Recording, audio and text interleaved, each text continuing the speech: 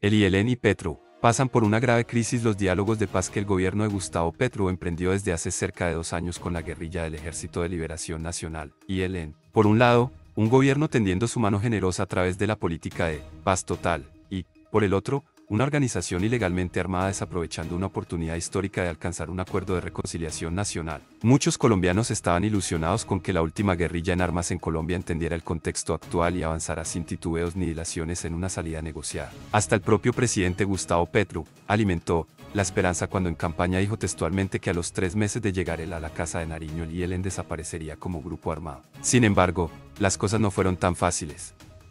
A pesar de que las delegaciones tanto del gobierno Petro como del IELN han sostenido varios encuentros en los países de Venezuela, México y Cuba, las negociaciones nunca avanzaron. Mientras tanto, la guerrilla del IELN no paró con sus acciones delictivas en varias regiones del país y, por el contrario, las intensificó durante los últimos meses ejecutando secuestros, ataques contra policías y militares, extorsiones, confinamientos, quema de vehículos y atentados contra la infraestructura de petróleo y gas del país. El demencial ataque de esta semana contra una base militar en Puerto Jordán, departamento de Arauca, que dejó uniformados muertos y heridos, llevó a que el presidente Petro dijera, prácticamente, es una acción que cierra un proceso de paz con sangre. Aunque las puertas del diálogo nunca deben ser cerradas y la salida pacífica de un conflicto será siempre bienvenida, hoy más que nunca urge que cualquier negociación de paz que desarrolle el gobierno se desarrolle con reglas y tiempos definidos.